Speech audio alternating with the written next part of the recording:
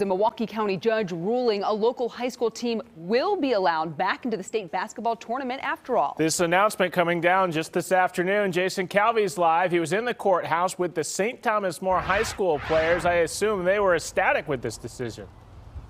Oh, yeah, they were very ecstatic, hugging after the judge's ruling. Now, all happened Friday night. There was a fight at a game. All of the St. Thomas More players were suspended. They then forfeited the next game on Saturday against Brown Deer. Brown Deer advanced in the state playoff tournament facing off against Dominican in just one hour, but now a judge rules that game is on hold, and the forfeited game now goes to a rematch.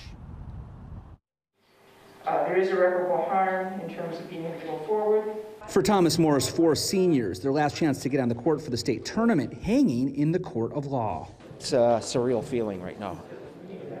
And uh, I'm just happy for our guys. The judge saying they can play the game they forfeited Saturday after their players were suspended for what happened Friday night. With 44 seconds left in Friday's regional playoff game between two Milwaukee schools, St. Thomas More was beating Fuller Collegiate Academy 82 to 52.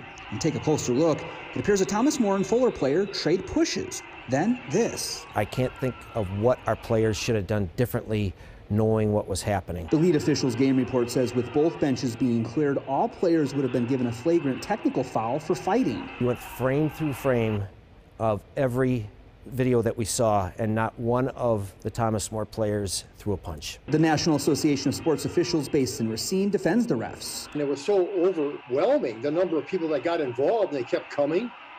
He even, I think he even had a couple of mothers running out there trying to get their kids out of the way, and all this is going on, and you're one of three people standing there.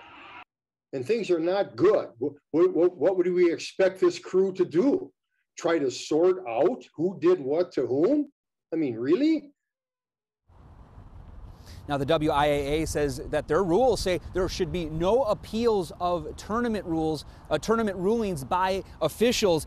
Now the WIAA has to set up this replacement, the rematch game against Brown Deer versus St. Thomas More, and all of the other games impacted in that bracket now on hold. For now, we're live at the Milwaukee County Courthouse. Jason Calvi, Fox 6 News. And we are still waiting to find out when that rescheduled game will be, and then all the other games after that can then fall in line.